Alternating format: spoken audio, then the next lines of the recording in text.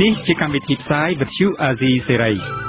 នេះជាកម្មវិធីផ្សាយរបស់វិទ្យុអាស៊ីសេរីជាភាសាខ្មែរវិទ្យុអាស៊ីសេរីសូមស្វាគមន៍លោកអ្នកនាងទាំងអស់ពីរដ្ឋធានី Washington នៃសហរដ្ឋអាមេរិកបាទខ្ញុំបាទលេងម៉ាលីសូមជម្រាបសួរលោកអ្នកនាងអ្នកស្ដាប់វិទ្យុអាស៊ីសេរីជាទីមេត្រីខ្ញុំបាទបានបានដេតក៏សូមជម្រាបសួរលោកអ្នកនាងទាំងអស់ជាទីគោរពរាប់អាន យើងខ្ញុំសូមជូនកម្មវិធីផ្សាយសម្រាប់យប់ថ្ងៃច័ន្ទ10រោចខែចេសឆ្នាំរកានុបស័កពុទ្ធសករាជ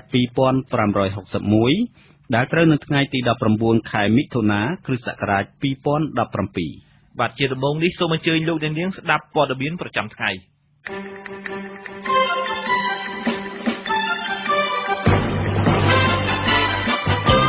គោជបបិទបញ្ចប់ការទទួលពាក្យបណ្ដឹងតាក់ទងនឹងការបោះឆ្នោតឃុំសង្កាត់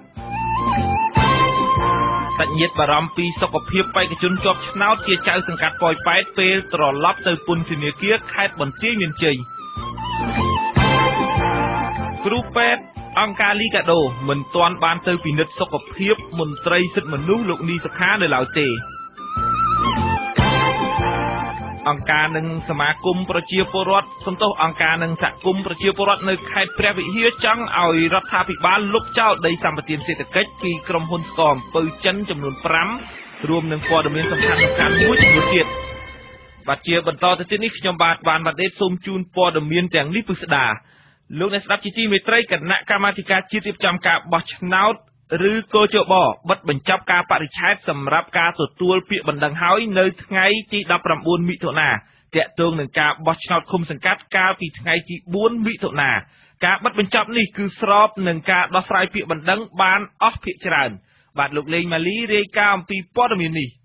ប្រធាននាយកដ្ឋានព័ត៌មាននិងទំនាក់ទំនងសាធារណៈកោជបលោកខនកែមណូមានប្រសាសន៍ថាគណៈកម្មាធិការជាតិរៀបចំការបោះឆ្នោតមិនបានទទួលពាក្យបណ្ដឹងអ្វីបន្ថែមទៀតទេ នៅថ្ងៃបិទបញ្ចប់ការបរិច្ឆេទទទួលពាក្យបណ្ដឹងនៅថ្ងៃទី19មិថុនាត្រឹមថ្ងៃនេះដែលជាថ្ងៃបញ្ចប់ហើយនឹងសរុបទាំងអស់មាន64បណ្ដឹង បណ្ដឹងចំនួន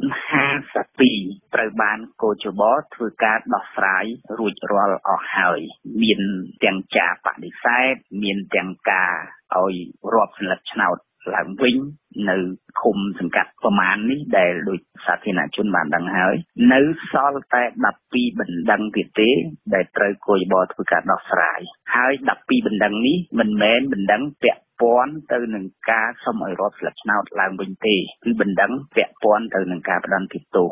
លោកបញ្ជាក់ថាបណ្ដឹងតាក់ទងនឹងការរាប់សន្លឹកឆ្នោតដែលទទួលបានក៏ត្រូវបានដោះស្រាយចប់ដែរ ការដោះស្រាយនេះជាការដោះស្រាយបានលឿនជាងការបរិច្ឆេទកំណត់មួយសប្តាហ៍ដែលតាមនីតិវិធីកោជបត្រូវដោះស្រាយបណ្ដឹងឲ្យបានរួចរាល់មុនការប្រកាសលទ្ធផលនៅថ្ងៃទី25មិថុនាក្នុងចំណោមបណ្ដឹងដោះស្រាយទាំង52ដែលលោកខនកែវមណូបានលើកឡើង មានបណ្ដឹងចំនួន33ត្រូវបានពិនិត្យនិងសម្រេចបដិសេធដោយសារតែបណ្ដឹងទាំងនេះកោជបចាត់ទុកថាផុតកាលកំណត់របស់ច្បាប់សម្រាប់ប្តឹង ឬដែលហៅថាការថ្លោះសិទ្ធិនៃការប្តឹង។ ប្រធាននាយកដ្ឋានកិច្ចការបោះឆ្នោតនិងនីតិកម្មនៃគណៈបកសង្គ្រោះជាតិអ្នកស្រីមេងសុធារីថ្លែងថាបណ្ដឹងរបស់គណៈបកសង្គ្រោះជាតិសុទ្ធតែបានធ្វើក្នុងរយៈពេលនៃនីតិវិធី នីតិវិធីនៃបទបញ្ជារបស់គោជបការប្តឹងអំពីលទ្ធផលបណ្ដោះអាសន្នគឺមានរយៈពេល3ថ្ងៃបន្ទាប់ពីការបិទផ្សាយកំណត់ហេតុបូកសរុបលទ្ធផលនៅគណៈកម្មការបោះឆ្នោតថ្នាក់ឃុំដើម្បីប្តឹងទៅគណៈកម្មការបោះឆ្នោតថ្នាក់ខេត្តមានរយៈពេល3ថ្ងៃសម្រាប់ការប្តឹងទៅនឹងហើយនៅពេលដែលទទួលសេចក្តីសម្រេចពីគណៈកម្មការបោះឆ្នោតថ្នាក់ខេត្តដែលសម្រាប់បដិសេធហ្នឹងភាគីដែលមិនចុកចិត្តមានសិទ្ធិប្តឹងមកគោជបក្នុងរយៈពេល4ថ្ងៃទៀតអញ្ចឹងតាមដំណាក់កាលនីមួយៗមួយនៃនីតិវិធីគឺគណៈបក្សសង្គមជាតិបានស្ដឹងត្រឹមត្រូវក្នុងចន្លោះពេលដែលច្បាប់បានកំណត់ជាសរុបទៅគឺមិនដឹងមិនមានផុតញ្ញាយកាទេទោះជាយ៉ាងណាក្តីអ្នកស្រីត្រូវតែទទួលយកព្រោះការសម្រេចនេះជាការបិទផ្លូវតវ៉ាតាមនីតិវិធីកោជប ក្នុងចំណោមបណ្ដឹងទាំង 33 ដែលត្រូវបានបដិសេធគឺគណៈបកសង្គ្រោះជាតិប្តឹង22បណ្ដឹងមកពីខេត្តរាជធានីចំនួន7ហើយ10បណ្ដឹងទៀតគឺប្តឹងដោយគណៈបកប្រជាជនកម្ពុជាមកពីរាជធានីខេត្តចំនួន4បណ្ដឹងដែលបានដោះស្រាយភាគច្រើនគឺសុទ្ធតែសុំឲ្យរាប់សន្លឹកឆ្នោតឡើងវិញរីឯបណ្ដឹងចំនួន12ផ្សេងទៀតនៅមិនទាន់ច្បាស់លាស់នៅឡើយលោកខនកែវមនោថ្លែងថាបណ្ដឹងទាំងនេះមិនតម្រូវឲ្យដោះស្រាយបានមុនការប្រកាសលទ្ធផលទេ តាមកាលបរិច្ឆេទកោជបនឹងប្រកាសផ្សាយលទ្ធផលនៃការបោះឆ្នោតជ្រើសរើសក្រុមប្រឹក្សាឃុំសង្កាត់ជាផ្លូវការនៅថ្ងៃទី25មិថុនាដែលធ្វើឡើងតាមកញ្ចក់ទូរទស្សន៍ជាតិតតកនិងនៅលើគេហទំព័ររបស់កោជបខ្ញុំបាទលេងម៉ាលីអាស៊ីសេរីពីរាជធានីភ្នំពេញបាទនៅខេត្តបន្ទាយមានជ័យសាច់ញាតិបេក្ខជនជាប់ឆ្នោតជាចៅសង្កាត់ប៉ោយប៉ែតដែលទើបជាប់ឆ្នោតថ្មីមកពីគណៈបកសង្គ្រោះជាតិ កំពុងជាប់ពន្ធនាគារនៅខេត្តបន្ទាយមានជ័យបារម្ភពីសុខភាពរបស់លោកចៅវាសនាខ្លាចជំងឺរើឡើងវិញគ្មានថ្នាំព្យាបាលនៅពេលដែលសមត្ថកិច្ចបញ្ជូនត្រឡប់ទៅពន្ធនាគារវិញក្តីបារម្ភនេះបន្ទាប់ពីគ្រូពេទ្យអះអាងថាអ្នកជំងឺរូបនេះបានធូរស្រាលនិងត្រូវចេញពីមន្ទីរពេទ្យនៅរសៀលថ្ងៃទី19មិថុនាលោកហុំចម្រើនរាយការណ៍ព័ត៌មាននេះសាច់ញាតិបេក្ខជនជាប់ឆ្នោតជាចៅសង្កាត់ប៉ោយប៉ែតលើកឡើងថា បើទោះជាគ្រូពេទ្យឲ្យអ្នកជំងឺចេញពីមន្ទីរពេទ្យក៏ដោយក៏ប៉ុន្តែលោកចៅវាសនានៅមានជំងឺផ្សេងជាច្រើនទៀតដែលត្រូវព្យាបាលបន្តប្រពន្ធបេក្ខជនចៅសង្កាត់ប៉ោយប៉ែតអ្នកស្រីវងកំហុងឲ្យដឹងនៅថ្ងៃទី19មិថុនាថាអ្នកស្រីខ្វល់ខ្វាយយ៉ាងខ្លាំងអំពីបញ្ហាសុខភាពរបស់ស្វាមីនៅពេលទទួលដំណឹងថាសមត្ថកិច្ចនឹងបញ្ជូនទៅឃុំខ្លួននៅពន្ធនាគារវិញ។ អ្នកស្រីអះអាងថាគ្រូពេទ្យប្រាប់អ្នកស្រីថាលោកចៅវាសនាមានជំងឺថ្លើមគ្រោះក្នុងប្រមាត់និងឡើងជាតិអាស៊ីតជាដើមដែលត្រូវព្យាបាលនៅខាងក្រៅពន្ធនាគារបន្តទៀតខ្ញុំចង់ឲ្យគេធ្វើចេះធ្វើអីថាកាត់ទីអីចឹងឲ្យគេមើលឲ្យអស់ចិត្តទីភាសាខ្ញុំចេះឲ្យគេមើលតាមកាត់ទីតាមជំងឺចាស់ជំងឺអីមើលអស់ហើយតាក់ទងនឹងបញ្ហានេះប្រធានមន្ទីរពេទ្យបង្អែកមិត្តភាពកម្ពុជាជប៉ុនមង្គលបុរី លោកច័ន្ទវុឌ្ឍលីណាវុឌ្ឍមានប្រសាសន៍ថាស្ថានភាពជំងឺពោះវៀនដុសខ្នែងរបស់លោកចៅវាសនាបានធូរស្រាលឡើងវិញនឹងត្រូវបញ្ជូនត្រឡប់ទៅពន្ធនាគារនៅរសៀលថ្ងៃទី19មិថុនាបានប្រសាហើយលោកមុនគាត់នៅនោះបានផ្លាស់មកពីកន្លែងហើយក៏ប្រសាមែនតើមិនឲ្យចេញបើអត់ប្រសាក៏អត់ឲ្យចេញទេអត់ទេនេះយើងមកមើលតែរឿងគេផ្សាយយើងឲ្យយើងមើលជំងឺវាដល់ខ្នែងយើងមើលតែប៉ុណ្្នឹងណាហើយតោងគេស្រាវជ្រាវខ្លួនគេទៅមើលឯកជនខ្ញុំអត់ដឹងទេគេដឹងឲ្យខ្លួនគេគឺឯកជនទេណាហ្នឹង លោកចៅវាសនាត្រូវបានសមត្ថកិច្ចបញ្ជូនទៅព្យាបាលជំងឺពោះវៀនដុសខ្នែងនៅមន្ទីរពេទ្យបង្អែកមិត្តភាពកម្ពុជាជប៉ុនមង្គលបុរីកាលពីយប់ថ្ងៃទី10មិថុនាគិតត្រឹមម៉ោង4រសៀលថ្ងៃទី19មិថុនាលោកចៅវាសនាស្ថិតក្នុងមន្ទីរពេទ្យសមត្ថកិច្ចមិនទាន់បញ្ជូនទៅពន្ធនាគារនៅឡើយអាស៊ីសេរីពុំអាចតាក់ទងប្រធានពន្ធនាគារខេត្តបន្ទាយមានជ័យលោកអ៊ុំស៊ីផានដើម្បីសូមអត្ថាធិប្បាយបន្ថែមជុំវិញបញ្ហានេះបានទេ នៅថ្ងៃទី19មិថុនា ដោយលោកពុំទទួលទូរស័ព្ទទោះជាយ៉ាងនេះក្តីមន្ត្រីសម្របសម្រួលសមាគមការពារសិទ្ធិមនុស្សអាត់ហុកខេត្តបន្ទាយមានជ័យលោកសុំចង្គៀមានប្រសាសន៍ថាស្ថានភាពជំងឺរបស់លោកចៅវាសនាគួរតែព្យាបាលនៅខាងក្រៅពន្ធនាគារឲ្យជាសះស្បើយជាមុនសិនពីព្រោះជំងឺរបស់គាត់មិនទាន់ជាដាច់នៅឡើយ រោគតឡាការក៏គាត់បានដឹងដែរបានយល់ដែរអំពីស្ថានភាពមនុស្សដែលគាត់ជាអ្នករោគផ្ដល់នៅយុទ្ធធម៌អញ្ចឹងត្រូវតែមនុស្សដែលមានកម្លាំងកំហែងមានសុខភាពមានអីទ្រូបួលគ្រប់គ្រាន់យើងមិនមែនយកមកដល់ជាហាក់ដូចជាធ្វើទរណកម្មអីទុកគាត់ស្តុកចោលឲ្យគាត់ឈឺក៏ដោយគាត់អីក៏ដោយជំងឺគាត់មិនទាន់ជាប៉ះពាល់មុខរបួសអញ្ចឹងក៏អត់ខ្វល់អីនោះទេយើងត្រូវតែរកធ្វើយ៉ាងណា ដើម្បីចាត់ចែងលៃលោដើម្បីឲ្យមនុស្សនឹងបានទទួលទាំងយុទ្ធធម៌ផងទាំងសុខភាពផងបាទលោកចៅវាសនាជាបេក្ខជនចៅសង្កាត់ប៉ោយប៉ែតដើមកំណើតខ្មែរក្រោមត្រូវបានគណៈបកសង្គ្រោះជាតិដាក់ឲ្យឈរឈ្មោះជាបេក្ខជនលេខរៀងទី1នៅសង្កាត់ប៉ោយប៉ែតក្នុងការចូលរួមបោះឆ្នោតជ្រើសរើសក្រុមប្រឹក្សាឃុំសង្កាត់អាណត្តិទី4កាលពីថ្ងៃទី4មិថុនាកន្លងទៅទោះបីជាលោកនៅក្នុងពន្ធនាគារក្តីប៉ុន្តែលទ្ធផលឆ្នោតលោកចៅវាសនាឈ្នះឆ្នោតធ្វើជាចៅសង្កាត់ប៉ោយប៉ែត ចៅក្រមស៊ើបសួរនៃសាលាដំបងខេត្តបន្ទាយមានជ័យសម្រាប់ឃុំខ្លួនលោកចៅវាសនានៅពន្ធនាគារខេត្តបន្ទាយមានជ័យកាលពីថ្ងៃទី16កុម្ភៈគឺមុនការបោះឆ្នោតឃុំសង្កាត់កាលពីថ្ងៃទី4មិថុនាឆ្នាំ2017ដោយចោទប្រកាន់ពីបទញុះញង់ឲ្យប្រើអំពើហិង្សាមានស្ថានទម្ងន់ទោសដែលប្រព្រឹត្តទៅនៅមុខស្នាក់ការគយនឹងរដ្ឋកោក្រុងប៉ោយប៉ែតកាលពីខែឧសភាឆ្នាំ2015កាលពីថ្ងៃទី25ឧសភាឆ្នាំ2015ក្រុមកម្មករអូរទេសប្រមាណ150នាក់ ធ្វើបាតកម្មទាមទារឲ្យមន្ត្រីគយប្រចាំច្រកព្រំដែនអន្តរជាតិប៉ោយប៉ែតបញ្ឈប់យកពន្ធហួសហេតុលើការដឹកទំនិញចេញចូលតាមរទេះរុញបន្តទៀត។ការតវ៉ានេះបង្កឲ្យមានការប៉ះទង្គិចគ្នាដោយហិង្សារវាងក្រុមកម្មករអូរទេសនិងកម្លាំងសមត្ថកិច្ចបណ្ដាលឲ្យខូចខាតរថយន្តរបស់គយនិងរដ្ឋកោក្រុងប៉ោយប៉ែតចំនួន7គ្រឿងព្រមទាំងកញ្ចក់របងទ្វារបង្អួចនៃស្នាក់ការគយខូចខាតមួយចំនួនទៀត ការតវ៉ាបង្កហិង្សាដាក់គ្នានេះដោយពួកគេឃើញសមត្ថកិច្ចចាប់តំណាងក្រុមអ្នកតវ៉ាម្នាក់វាយធ្វើទារុណកម្មហើយពួកគាត់ខឹងក៏ផ្ទុះហិង្សាដាក់គ្នាតែម្ដងអ្នកខ្លំមើលការបោះឆ្នោតខេត្តបន្ទាយមានជ័យលើកឡើងថាការចោទប្រកាន់និងចាប់លោកចៅវាសនាដាក់ពន្ធនាគារនេះដោយសារតែលោកមានប្រជាប្រិយភាពហើយការចាប់ចងនេះអាចជាចេតនានយោបាយច្រើនជាងខ្ញុំបាទហុំចម្រើនអាស៊ីសេរីពីខេត្តបាត់ដំបង បាទនៅឯពន្ធនាគាររាជធានីភ្នំពេញឯនេះវិញក្រោយពីមន្ត្រីសិទ្ធិមនុស្សអាត6លោកនីសុខាដួលសន្លប់នៅក្នុងបន្ទប់ទឹកនៅពន្ធនាគារកាលពីថ្ងៃទី18ដល់ថ្ងៃទី19មិថុនានេះគ្រូពេទ្យរបស់អង្គការលីកាដូមិនទាន់បានចូលជួបលោកនីសុខាដើម្បីពិនិត្យជំងឺនៅឡើយទេលោកប្រាជេវរាយការណ៍ព័ត៌មាននេះមេធាវីការពីក្តីឲ្យមន្ត្រីសិទ្ធិមនុស្សលោកនីសុខាថានឹងដាក់លិខិតទៅចៅក្រមសាលាដំបងក្រុងភ្នំពេញ ស្នើសុំឲ្យលោកនីសុខាមកព្យាបាលជំងឺនៅមន្ទីរពេទ្យក្រៅពន្ធនាគារប្អូនប្រុសរបស់លោកនីសុខាគឺលោកនីលីហេងឲ្យដឹងនៅថ្ងៃទី19ខែមិថុនានេះថាលោកបានទៅសួរសុខទុក្ខបងប្រុសរបស់លោកនៅពន្ធនាគារឃើញលោកនីសុខាមានទឹកមុខស្លេកស្លាំងញ័រដៃនិងព្យួរសេរ៉ូមផងលោកថាបងប្រុសរបស់លោកពិតជាបានដួលសន្លប់នៅក្នុងបន្ទប់ទឹកនៃពន្ធនាគារមែនខ្ញុំបានជួយគាត់ទៅថ្មីគឺគាត់ដួលដួលសន្លប់មកមកបន្ទប់ដែលបានវះ ក្នុងពន្ធនាគារនោះជួយឲ្យខ្ញុំជំរាបខាងលើមកវិញលោកថាបើទោះជាក្រុមគ្រូពេទ្យនៃពន្ធនាគារបានយកចិត្តទុកដាក់ព្យាបាលបងប្រុសរបស់លោកក្តីប៉ុន្តែលោកព្រួយបារម្ភថាស្ថានភាពជំងឺរបស់លោកនីសុខាធ្ងន់ធ្ងរលើពីលទ្ធភាពគ្រូពេទ្យនៅពន្ធនាគារមេធាវីការពីក្តីរបស់លោកនីសុខាគឺលោកឡាវជុនធីប្រាប់ថាក្រោយពីឃើញស្ថានភាពជំងឺកូនក្តីរបស់លោកក្រុមមេធាវីសម្រាប់សរសេរលិខិតទៅចៅក្រមសាលាដំបងក្រុងភ្នំពេញ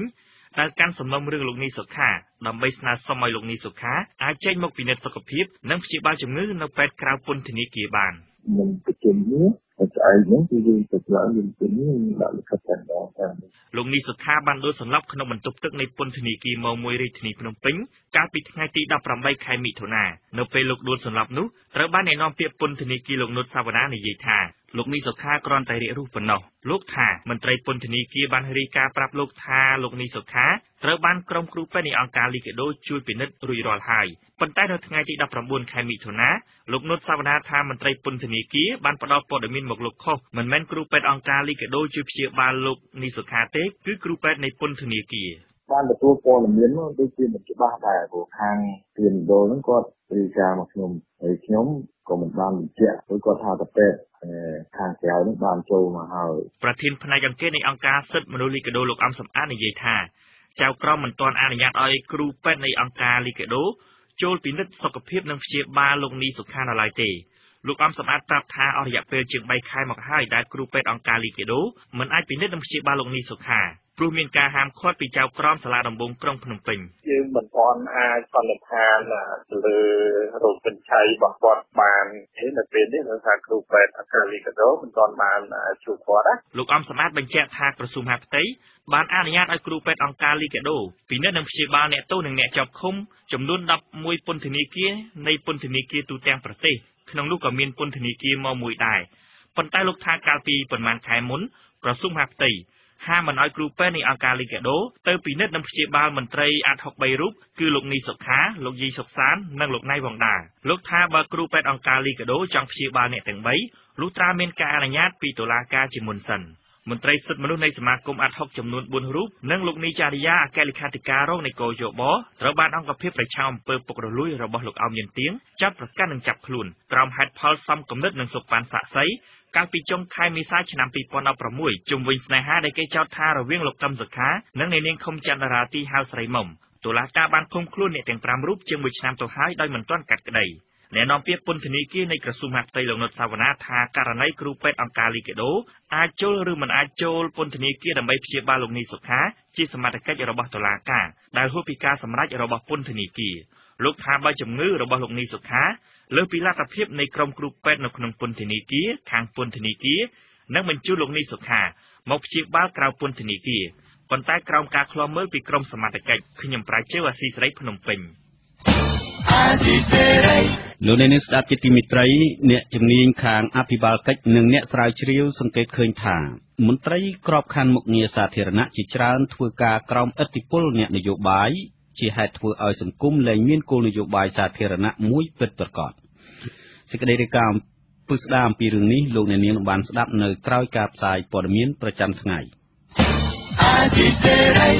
បាទរដ្ឋមន្ត្រីក្រសួងមហាផ្ទៃនៃរាជរដ្ឋាភិបាលកម្ពុជាបានធ្វើជាម្ចាស់ផ្ទះនៃកិច្ចប្រជុំក្រុមអតីតសិក្ខាកាមបណ្ឌិតសភា FBI ដែលធ្វើឡើងនៅឯខេត្តសៀមរាបនៅថ្ងៃច័ន្ទទី19មិថុនាក្រុមអតីតសិក្ខាកាមបណ្ឌិតសភា FBI ដែលបានមកជួបប្រជុំគ្នានោះ មានចំនួន160នាក់ មកពី18ប្រទេសនៃតំបន់អាស៊ីប៉ាស៊ីហ្វិកបូករួមនឹងសហរដ្ឋអាមេរិកផងអ្នកនាំពាក្យក្រសួងមហាផ្ទៃគឺលោកឧត្តមសេនីយ៍ខៀវសុភ័ក្រលោកបានមានប្រសាសន៍បន្ទាប់ពីបញ្ចប់ការថ្លែងបិទកិច្ចប្រជុំនោះថា ក្នុងកិច្ចប្រជុំអតីតសិក្ខាកាម FBI នោះបានលើកយកប្រធានបទមកពិភាក្សាគ្នាអំពីបញ្ហាអ ுக ្រិតកម្មឆ្លងដែនដោយដៅទៅលើចំណុច2គឺទី1បញ្ហាប្រឆាំងភេរវកម្ម និងទី2បញ្ហាប្រឆាំងអ ுக ្រិតកម្មតាមប្រព័ន្ធអ៊ីនធឺណិតដូចបានជម្រាបជូននៅក្នុងសន្និដ្ឋានសម្ដេចចឹងគឺថាតំណាក់តំណង FBI នេះគឺមានក្រោយពីដែលសម្ដេចក្រហមលោកបានចេញទៅបំពេញប្រកិច្ចនៅសហរដ្ឋអាមេរិកឆ្នាំ96គឺលោកបានតំណងប៉ុនភូមិមួយរបស់ទូមកពេញនៃរដ្ឋបាលកម្ពុជាទីនោះបាទលោកសខេងបានថ្លែងនៅក្នុងការបើកកិច្ចប្រជុំថាចាប់តាំងពីឆ្នាំ1996 រហូតមកដល់ពេលបច្ចុប្បន្ននេះកម្ពុជាទើបតែបានបញ្ជូនមន្ត្រី ទៅសិក្សានៅសាលាបណ្ឌិតសភា FBI ចំនួន9នាក់ប៉ុណ្ណោះលោកសខេងបានស្នើឲ្យសាលាបណ្ឌិតសភា FBI ផ្ដល់អាហារូបករណ៍មកឲ្យកម្ពុជាក្នុងមួយឆ្នាំមួយឆ្នាំឲ្យបានចំនួន2នាក់ដើម្បីទៅសិក្សាជំនាញ FBI បន្ថែមទៀតបាទនៅខេត្ត ព្រះវិហារនោះវិញអង្គការនិងសមាគមចំនួន4បានចេញរបាយការណ៍រួមគ្នាមួយដោយបង្ហាញថារដ្ឋាភិបាលខ្មែរដែលប្រគល់ដីសម្បត្តិសេដ្ឋកិច្ចទំហំ40000ហិកតានៅខេត្តព្រះវិហារឲ្យទៅក្រុមហ៊ុនស្ករអំពៅចិនចំនួន5ធ្វើវិនិយោគស្ករអំពៅនោះ បានធ្វើឲ្យប៉ះពាល់ដល់ជីវភាពរស់នៅរបស់ប្រជាពលរដ្ឋនៅតាមសហគមន៍ប៉ះពាល់ដល់ជីវៈចម្រុះធម្មជាតិព្រមទាំងគ្រឹះរបស់ប្រាសាទបុរាណ ដែលជាសម្បត្តិវប្បធម៌របស់ជាតិយ៉ាងធ្ងន់ធ្ងរបន្ថែមពីលើនេះការប្រគល់ដីសម្បត្តិសេដ្ឋកិច្ចធ្វើឲ្យក្រុមហ៊ុនចិនឈូសឆាយដំណាំអំពៅដាំអំពៅក្រុមអង្គការសង្គមស៊ីវិលទាំងនេះអះអាងថាមិនបានជួយលើកកម្ពស់ការផលិតស្បៀងនៅកម្ពុជាទេប៉ុន្តែបានរំលោភលើសិទ្ធិមនុស្សនិងបំផ្លាញជីវភាពរបស់ប្រជាពលរដ្ឋខ្មែរទៅវិញលោកហងសាវយុទ្ធមានសេចក្តីរាយការណ៍អំពីរឿងនេះ ក្រុមអង្គការក្រៅរដ្ឋាភិបាលនិងសហគមន៍ទំនាស់ដីធ្លីខ្លះទៀតនៅខេត្តព្រះវិហារចង់ឲ្យរដ្ឋាភិបាលលុបចោលដីសម្បត្តិសេដ្ឋកិច្ចពីក្រុមហ៊ុនស្ករអំពៅរបស់ចិនចំនួន5នោះចោលឲ្យបានកាន់តែឆាប់កាន់តែប្រសើរ ការជំរុញឲ្យរដ្ឋាភិបាលលុបចោលដីសម្បត្តិសេដ្ឋកិច្ចពីក្រុមហ៊ុនចិនទាំង5នេះបន្ទាប់ពីគេរកឃើញថាក្រុមហ៊ុនស្ករអំពៅរបស់ចិនចំនួន5ដែលទំនងបំបែកចេញពីក្រុមហ៊ុនតែមួយហើយកំពុងកាន់កាប់ដីទំហំ40000ហិកតាសម្រាប់ដាំអំពៅក្នុងទឹកដីខេត្តព្រះវិហារនោះបានធ្វើឲ្យប៉ះពាល់ច្រើនយ៉ាងដូចជាការរំលោភសិទ្ធិមនុស្សការបំផ្លាញជីវភាពរស់នៅរបស់ប្រជាពលរដ្ឋតាមសហគមន៍ បំពុលទឹកនៅតាមអូរនិងស្ទឹងព្រមទាំងប៉ះពាល់ដល់សម្បត្តិវប្បធម៌របស់ខ្មែរទៀតផង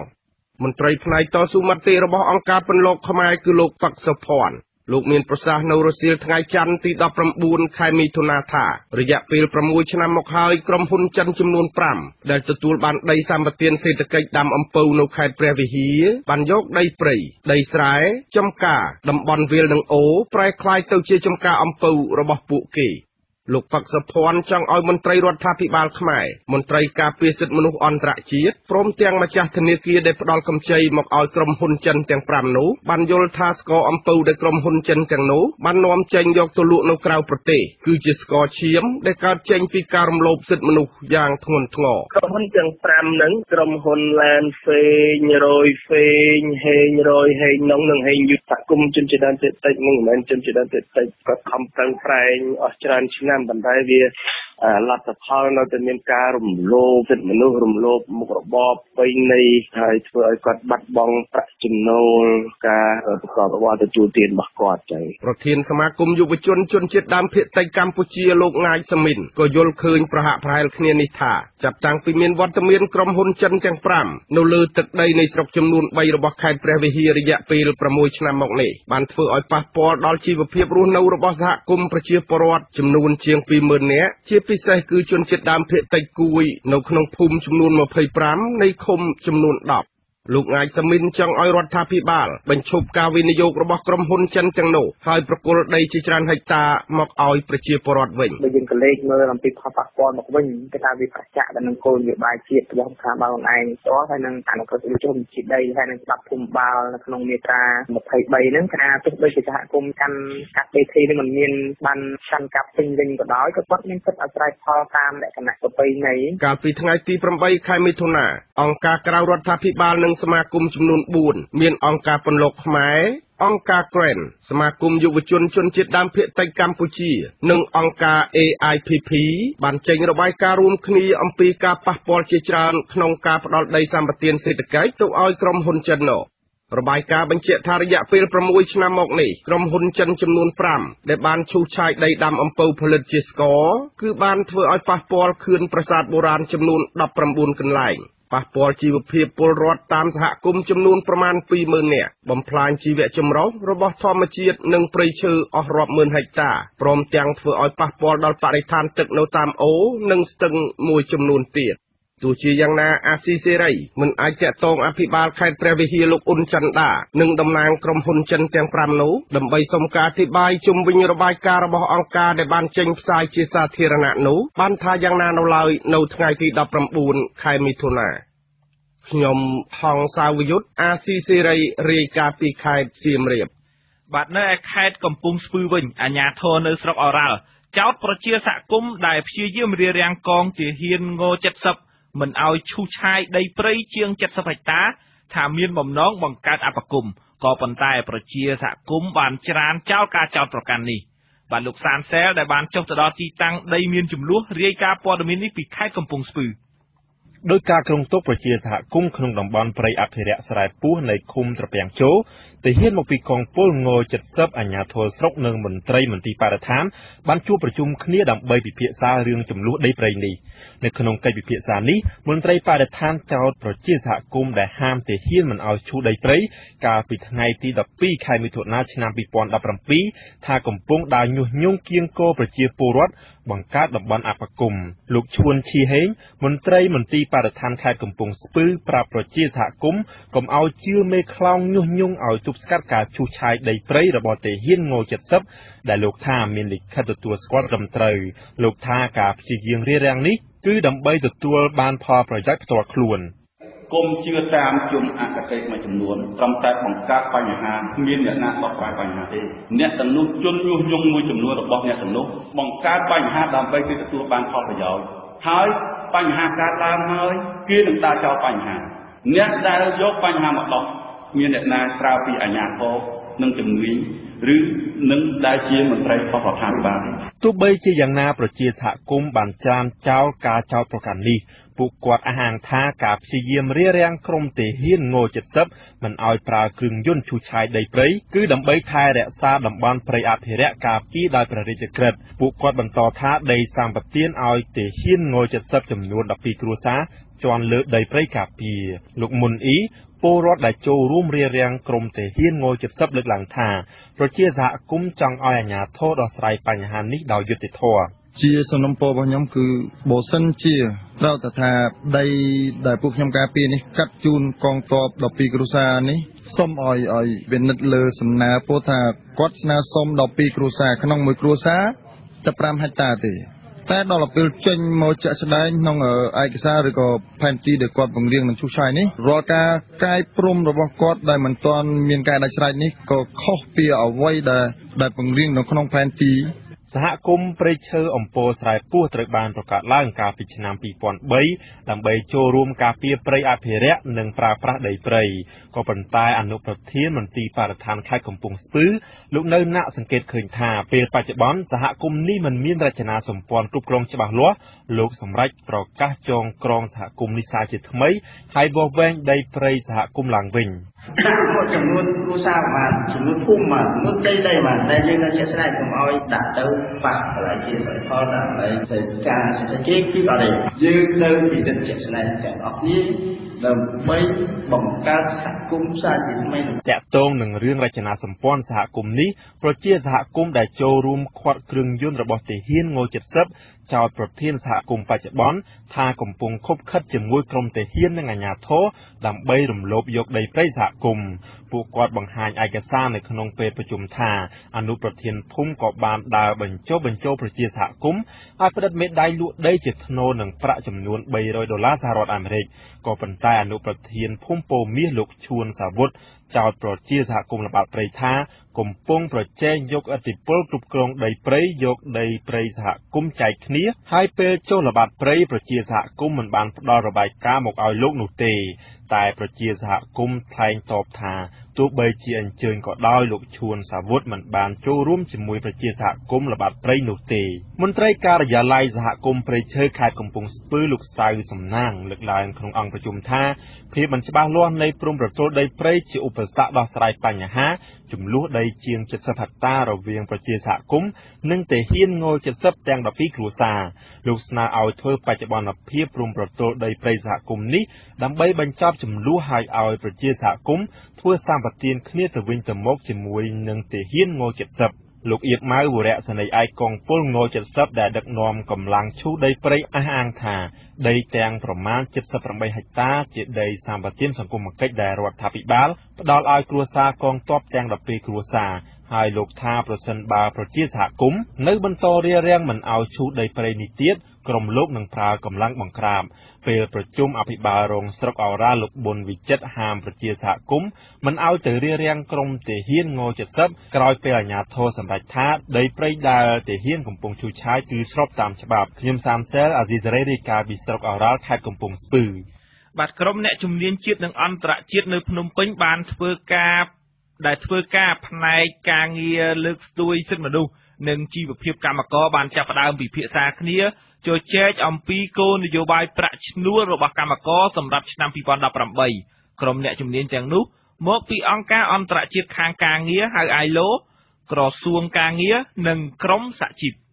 ការចាប់ផ្ដើមពិភាក្សាអំពីគោលនយោបាយប្រាក់ឈ្នួលគឺដើម្បីត្រៀមកំណត់ប្រាក់ឈ្នួលអបបរមាឲ្យកម្មករក្នុងវិស័យកាត់ដេរវាយនភ័ណ្ឌនិងស្បែកជើង ក្រៅពីភាគីរបស់ក្រសួងការងារនិងសហជីពដែលធ្វើការផ្ទាល់ជាមួយកម្មករអ្នកជំនាញរបស់អង្គការអន្តរជាតិខាងពលកម្មឬ ILO បានបញ្ជូនក្រុមអ្នកជំនាញផ្នែកប្រាក់ឈ្នួលនិងផ្នែកសេដ្ឋកិច្ចឲ្យចូលរួមការបណ្ដុះបណ្ដាលនោះរដ្ឋមន្ត្រីក្រសួងការងារនិងបណ្ដុះបណ្ដាលវិជ្ជាជីវៈលោកអ៊ិតសំហេង ថ្លែងបើកវគ្គបណ្ដុះបណ្ដាលសិក្ខាសាលាស្ដីពីគោលនយោបាយប្រាក់ឈ្នួលនៅព្រឹកថ្ងៃទី19មិថុនានៅសន្តាគារហីម៉ាវ៉ារីថាក្រសួងបានដាក់ចេញគោលនយោបាយជាអាទិភាព5ឆ្នាំដើម្បីជាប្រយោជន៍ដល់កម្មករក្នុងនោះក៏មានបេឡាជាតិរបបសន្តិសុខសង្គមឬហៅថាបសសដែលផ្ដល់អត្ថប្រយោជន៍ដល់កម្មការនីពេលសម្រាលកូន លោកអ៊ិតសំហេងថ្លែងថាការចរចាប្រាក់ខែកម្មករត្រីភាគីនឹងមានសមាជិកភាព16នាក់មកពីក្រសួងការងារ16នាក់មកពីសមាគមថៅកែរោងចក្រនិង16នាក់ទៀតគឺខាងតំណាងសហជីព ក្រៅពីបង្ហាញផែនការអតិភិបនិងពេលវេលាជជែកគ្នាអំពីប្រាក់ខែគោលកម្មករលោកអ៊ិតសំហេងបានប្រមានទុកជាមុនកុំឲ្យយកប្រធានបទនៃប្រាក់ឈ្នួលកម្មករធ្វើជាលេសដើម្បីធ្វើបាតកម្មនៅឆ្នាំបោះឆ្នោតពលគឺនៅឆ្នាំ2018ខាងមុខលោកអ៊ិតសំហេងចាត់ទុកការធ្វើបាតកម្មដើម្បីទាមទារប្រាក់ខែជារឿងហួសសម័យ កាលពីឆ្នាំ2013ក្រុមកម្មករនិងសហជីពបាននាំគ្នាធ្វើបាតកម្មទាមទារស្ទើរពេញទីក្រុងភ្នំពេញឲ្យរាជរដ្ឋាភិបាលអន្តរាគមន៍ដំឡើងប្រាក់ឈ្នួលដល់កម្មករក្នុងវិស័យវាយនភ័ណ្ឌកាត់ដេរនិងផលិតស្បែកជើងនៅឆ្នាំ2014គណៈកម្មការប្រឹក្សាការងារដែលមានសមាជិកភាពត្រីភាគីបានសម្រេចបង្កើតឲ្យមានការពិភាក្សាជារៀងរាល់ឆ្នាំដើម្បីរកលទ្ធភាពដំឡើងប្រាក់ឈ្នួលជូនកម្មករ ប្រធានសហភាពសហព័ន្ធសហជីពជាតិកម្ពុជាលោកជួនមុំថុលប្រាប់ថាលោកមិនរំពឹងថាប្រាក់ឈ្នួលគោលកម្មករអាចឡើងបានច្រើននោះទេដោយសាររូបមន្តនៃការដំឡើងប្រាក់ឈ្នួលមិនខុសពីលើកមុនអតិផរណាផលិតភាព និងកំណើនសេដ្ឋកិច្ចក៏មិនខុសពីលើកមុនដែរក៏ប៉ុន្តែលោករំពឹងទៅលើទឹកចិត្តសប្បុរសធម៌របស់លោកនាយករដ្ឋមន្ត្រីហ៊ុនសែនបន្ថែមពីលើប្រាក់ឈ្នួលអបបរមាដែលនឹងត្រូវកំណត់នោះវិញ10%នៃអាចាស់ហ្នឹងប្រហែលជាមិនដល់នោះឬក៏យ៉ាងម៉េចដល់កំដល់អាហ្នឹងចាំមើលអាហ្នឹងយើងអត់ហ៊ានថាណាព្រោះយើងជជែកគ្នាអ្នកដែលអាចជួយឲ្យខុសរូបមន្តបានមានសម្ដេចនាយកដែលអ្នកដែលអាចជួយឲ្យខុសរូបមន្តប្រធានសហភាពការងារកម្ពុជាលោកអាត់ធុនមើលឃើញថាបើទោះជាការដំឡើងប្រាក់ឈ្នួលគោលកម្មករបានខ្លះក៏ដោយប៉ុន្តែជីវភាពរបស់កម្មករនៅតែលំបាកដោយសារតែតម្លៃនៃទំនិញបានឡើងប្រដេញប្រាក់ឈ្នួលកម្មករលោកអាត់ធុនយល់ថាការកំណត់ប្រាក់ឈ្នួលអបបរមាឲ្យកម្មករជារៀងរាល់ឆ្នាំមិនបានផ្ដល់អត្ថប្រយោជន៍ជាក់ស្ដែងឲ្យកម្មករនោះទេព្រោះការកំណត់ធ្វើឡើងតែរវាងភាគីក្រសួងកាងារ ថៅកែរោងចក្រនិងក្រុមសហជីពដែលស្និទ្ធនឹងថៅកែរោងចក្រឯសហជីពឯករាជ្យចូលរួមបានតែ2នាក់ប៉ុណ្ណោះដូច្នេះលទ្ធភាពនៃការទាមទារប្រាក់ឈ្នួលឲ្យដល់កម្រិតកម្មកររស់នៅដោយភាពថ្លៃថ្នូរមិនអាចបាននោះទេដោយសារតែសម្លេងគ្រប់គ្រងមានតិចវាគ្រាន់តែការរកផលប្រយោជន៍មួយផ្នែកមួយទេនៅក្នុងស្ថានភាពមួយនេះមិនមែនជាការផលរកផលប្រយោជន៍ពិតហើយចំអ្វីដែលកម្មករភាគច្រើនចង់បានជាងអាចនិយាយថារដ្ឋាភិបាលគឺចង់ឲ្យប៉ុណ្ណេះនៅក្នុងស្ថានភាពនេះ ខាងនយោជកចង់ឲ្យប៉ុណ្ណេះទុកចំណេញប៉ុណ្ណេះប៉ុន្តែរឿងពិតរបស់កម្មករគាត់ចង់បានប៉ុណ្ណោះពេលនេះគាត់ពិបាករស់ណាស់ប៉ុន្តែអត់បានលើអ្វីដែលគាត់ចង់បានអាសំណុំពពិតនៃសម្លេងភាគច្រើនរបស់កម្មករមិនទាន់ត្រូវបានដោះស្រាយបើទោះជាបែបនេះក្តីលោកអាត់ធុនមានសង្ឃឹមថានៅឆ្នាំ2018កម្មករនឹងទទួលបានការដំឡើងប្រាក់ខែគោលច្រើនជាងរៀងរាល់ឆ្នាំដោយសារការដំឡើងប្រាក់ឈ្នួលកម្មករសម្រាប់ឆ្នាំ2018នឹងជះឥទ្ធិពលដល់សន្លឹកឆ្នោតរបស់គណៈបកនយោបាយសហជីពក៏សង្ឃឹមថានៅការបោះឆ្ជាតិអាណត្តិទី6គណៈបកនយោបាយនឹងប្រជែងគ្នាផ្ដល់ប្រយោជន៍ឲ្យកម្មករឲ្យបានច្រើនជាងនេះដើម្បីសុំសัญลักษณ์ឆ្នោតពីកម្មករបាទសាលាដំបងរាជធានីភ្នំពេញបានកោះហៅដើមមិនដឹងដែលបានប្តឹងប្រធានគណៈបកសម្ព័ន្ធដើម្បីប្រជាធិបតេយ្យលោកខឹមវាសនា ពីបទជេរប្រមាថជាសាធារណៈតាមរយៈបណ្ដាញទំនាក់ទំនងសង្គម Facebook មកសាកសួរនៅថ្ងៃទី23មិថុនា ចាងវាងកាសែតផ្កាយព្រឹកលោកសុចសឿងដែលជាដើមមិនដឹង បានអសីសេរីដឹងថាលោកទើបបានទទួលដីការបស់តុលាការនៅថ្ងៃទី19មិថុនាបណ្ដឹងរបស់លោកបានដាក់ជូនទៅតុលាការក្រុងភ្នំពេញ កាលពីថ្ងៃទី12មិថុនាក្នុងនាមជាពលរដ្ឋម្នាក់ដែលលោកអះអាងថា កាលពីថ្ងៃទី12ខែមិថុនាឆ្នាំ2017លោកខំវាសនាបានជេរប្រមាថនិងមើលងាយពូជសាសន៍ខ្មែរក្នុងវេទិការបស់ខ្លួន ហើយត្រូវបានចែកចាយក្នុងបណ្ដាញសង្គម Facebook ដោយបើកចំហលោកសុកលោកសុចសឿងបន្តថា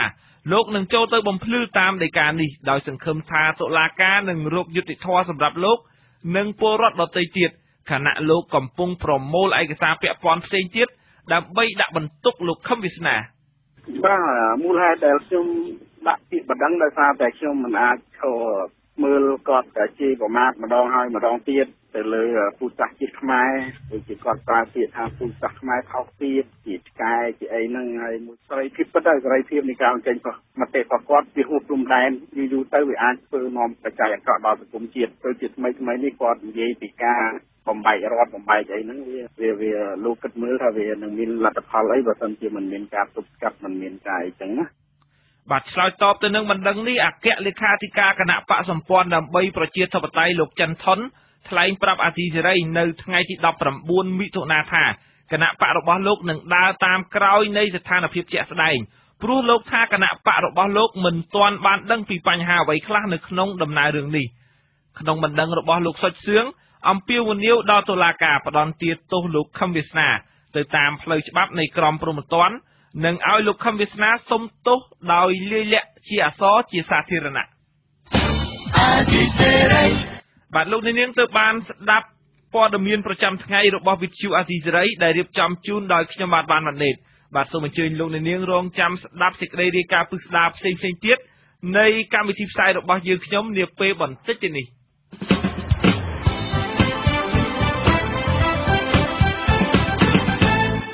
លោកអ្នកនាងកញ្ញាប្រិយមិត្តអ្នកស្ដាប់ជាទីមេត្រីនៅក្នុងកម្មវិធីផ្សាយជាបន្តទៅទៀតនេះលោកអ្នកនាងនឹងបានស្ដាប់សេចក្តីរាយការណ៍ស្ដីអំពី អ្នកជំនាញខាងអភិបាលកិច្ចព្រួយបារម្ភពីការបែងចែកមិនដាច់ស្រឡះរវាងមន្ត្រីក្របខ័ណ្ឌមុខងារសាធារណៈនិងមន្ត្រីមុខងារនយោបាយជនជាតិដើមភាគតិចគួយនៅខេត្តស្ទឹងត្រែងអះអាងថាព្រៃសហគមន៍ជាង100ហិកតាត្រូវបានគេកាប់សារជាថ្មីទៀត នឹងសេចក្តីរាយការណ៍ស្តីពីកម្ពុជា ជាប្រទេសដំបូងគេនៅក្នុងតំបន់អាស៊ីដែលយកសត្វកណ្ដុរមកសាកល្បង សម្រាប់ការងារជួយបោសសម្អាតមីននៅក្រោមដី ហើយនៅចុងក្រោយនៃកម្មវិធីផ្សាយគឺជាព័ត៌មានបញ្ចប់សូមអញ្ជើញលោកអ្នកនាងស្ដាប់ការផ្សាយរបស់យើងខ្ញុំដែលមានជាបន្តទៅទៀតដូចតទៅ។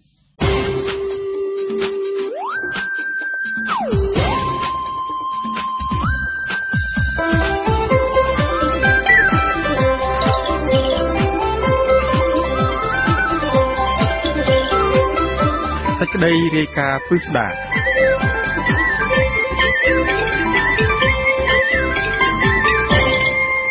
អ្នកស្រាវជ្រាវនិងអ្នកជំនាញខាងអភិបាលកិច្ចមើលឃើញដូចគ្នាថាចរន្តនៃការប្រើប្រាស់ឥទ្ធិពលនយោបាយលើមន្ត្រីក្របខ័ណ្ឌមុខងារសាធារណៈកំពុងកើតមានពេញបន្ទុកជាហេតុធ្វើឲ្យសង្គមលែងមានគោលនយោបាយសាធារណៈមួយពិតប្រាកដម្យ៉ាងវិញទៀត ចរន្តនេះក៏អាចបង្កការភ័យខ្លាចដល់មន្ត្រីរាជការមួយចំនួនបើសិនជាមានការផ្លាស់ប្តូររបបតាមរយៈការបោះឆ្នោត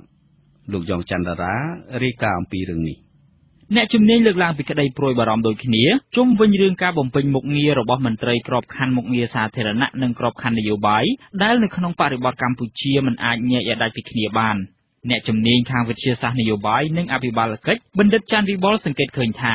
មន្ត្រីជាច្រើនគឺជាមន្ត្រីមុខងារសាធារណៈក៏ប៉ុន្តែបែរជាបំពេញតួនាទីជាមន្ត្រីនយោបាយទៅវិញដែលភាពច្របូកច្របល់គ្នានេះនឹងធ្វើឲ្យសញ្ញានៃការគ្រប់គ្រងរដ្ឋតាមបែបគណៈបកនយោបាយរបស់កម្ពុជាចាក់ឬកាន់តែជ្រៅ។រដ្ឋាភិការទីកាលឡើងគឺលោកជាមន្ត្រីនយោបាយប៉ុន្តែឥឡូវនេះគឺយើងច្បុកច្បល់គ្នាសូម្បីតែមេស្រុកមេខេត្តក៏ជាមន្ត្រីនយោបាយដែរអញ្ចឹង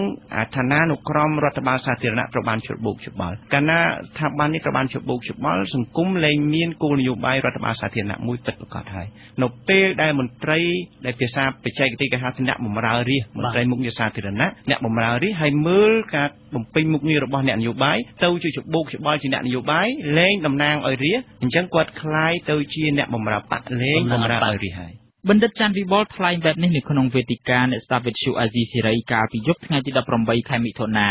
លោកអះអាងថាមន្ត្រីដែលស្ថិតក្រោមអំណាចរបស់គណៈបកគឺមានគណនេយ្យភាពតិចជាង30%ចំណែកការទទួលខុសត្រូវចំពោះប្រយោជន៍បករបស់ខ្លួនគឺមានច្រើនជាង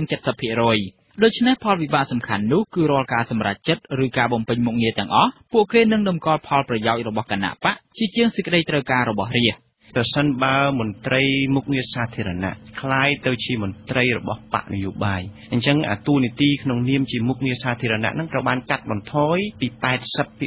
90%មកត្រឹមតែ30%អញ្ចឹងអ្នកដែលបានទទួលវិបត្តិមុនគេបំផុតនិងចុងក្រោយបំផុតគឺបងប្អូនដែលជាម្ចាស់ប្រទេសគឺប្រជាពលរដ្ឋអញ្ចឹងនេះជាផលប៉ះពាល់ដ៏ធំ ប្រសិនបើមន្ត្រីរបស់រដ្ឋคล้ายទៅជាមន្ត្រីបពករាល់កិច្ចការរបស់ប្រជាពលរដ្ឋនឹងត្រូវបានបំភ្លេចឬក៏ត្រូវបានមិនបំពេញទៅតាមកាតព្វកិច្ចមុខងាររបស់រដ្ឋចំណែកអ្នកស្រាវជ្រាវខាងការអភិវឌ្ឍសង្គមបណ្ឌិតមាសនេះវិញក៏សង្កេតឃើញដូចគ្នានេះដែរលោកមើលឃើញថាប្រព័ន្ធរដ្ឋសពថ្ងៃមានភាពច្របូកច្របល់ខ្លាំងដោយសារតែมันអាចបែងចែកឲ្យដាច់ពីគ្នារវាងមន្ត្រីបច្ចេកទេសនិងមន្ត្រីនយោបាយ លោកបន្តថាមន្ត្រីរាជការនៅតាមស្ថាប័ននីមួយៗគឺតម្រូវឲ្យក្លាយជាសមាជិកគណៈបកនយោបាយដែលនេះបានបង្កការភ័យខ្លាចដល់មន្ត្រីរាជការមួយចំនួនដែលគិតថាបើកាលណាមានការផ្លាស់ប្តូររបបខ្លួនក៏នឹងត្រូវអស់តួនាទីដែរ។ ការទៅជ្រៀតចូលរបស់អ្នកនយោបាយមានកាន់តែជ្រៅថែមទៀតទៅក្នុងប្រព័ន្ធរបស់រដ្ឋបានចឹងទៅនៅពេលដែលមានការផ្លាស់ប្ដូរតាមរយៈការបោះឆ្នោតអីមួយមួយគឺការដូរផ្លាស់នេះគឺនឹងមានបញ្ហាធំបាទដែលខ្ញុំរំពឹងថាជាគ្រឿងស្មុគស្មាញបំផុតសម្រាប់ដំណើរប្រជាធិបតេយ្យក្នុងស្រុកយើងបាទបណ្ឌិតមាសនេះបន្តថាអ្នកនយោបាយបានប្រើប្រាស់ឥទ្ធិពលរបស់ខ្លួនច្រើនលើសលប់ធ្វើឲ្យឥទ្ធិពលនយោបាយត្រូវបានបញ្ជ្រាបកាន់តែជ្រៅថែមទៀតនៅក្នុងប្រព័ន្ធរបស់រដ្ឋ លោកបានលើកឡើងពីប្រទេសថៃជាឧទាហរណ៍គំរូថាបើទោះបីជាមានវិបត្តិនយោបាយរ៉ាំរ៉ៃក្តីក៏សេដ្ឋកិច្ចរបស់គេនៅតែដើរទៅមុខដដែលហើយស្ថាប័នរដ្ឋនៅតែបំពេញមុខងាររបស់ខ្លួនដោយធម្មតា មន្ត្រីរដ្ឋាភិបាលដែលយើងហៅថាជាអ្នកបច្ចេកទេសនោះគឺគេអត់មានប៉ះពាល់ទេបើចឹងទៅបានជាទូបីថៃមានការច្បាំងគ្នាមានការវាយគ្នាបាតកម្មក៏ដោយទីក្រុងបាងកកក៏ដោយប៉ុន្តែសេដ្ឋកិច្ចថៃគឺមិនបានធ្លាក់ដុនដាទេប៉ុន្តែនៅស្រុកយើងដោយសារតែវាមានការច្រឡំបល់គ្នារវាងអ្នកនយោបាយហើយនិងមន្ត្រីសាធារណៈនឹងពីណាយើងមានចលនាចលម្ដងម្ដងយើងឃើញឆ្នាំ97គឺយើងស្ទើរតែគ្រប់គ្រងស្ថានភាពនឹងអត់បានសេដ្ឋកិច្ចក៏ត្រូវធ្លាក់អីចឹងទៅ ជុំវិញរឿងទាំងនេះ អាស៊ីសេរីមិនទាន់ទទួលបានការឆ្លើយតបណាមួយពីអ្នកនាំពាក្យគណៈបកប្រជាជនកម្ពុជាលោកសុកអេសានបាននៅឡើយនៅថ្ងៃទី19ខែមិថុនាដោយលោកបញ្ជាក់ថាកំពុងជាប់រវល់ខ្ញុំយ៉ងច័ន្ទដារាអាស៊ីសេរីភ្នំពេញ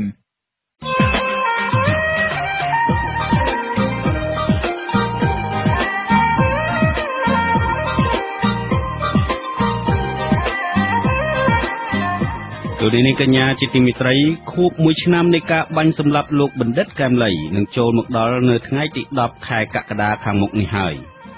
តើអ្នកស្រឡាញ់គាំទ្រលោកនៅមានការចងចាំនិងមានភក្ដីភាពចំពោះលោកបណ្ឌិតបែបណានៅយប់ថ្ងៃអង្គារទី20ខែមិថុនានេះវេទិកាអ្នកស្ដាប់វិទ្យុអស៊ីសេរីនឹងមានកិច្ចពិភាក្សាមួយអំពីកម្មវិធីនានាដើម្បីឧទ្ទិសដល់លោកបណ្ឌិតកែមលីមួយឆ្នាំក្រោមមរណភាពរបស់លោក។ សូមលោកអ្នកនាង តាមដានស្ដាប់និងទស្សនាកុំបីខាន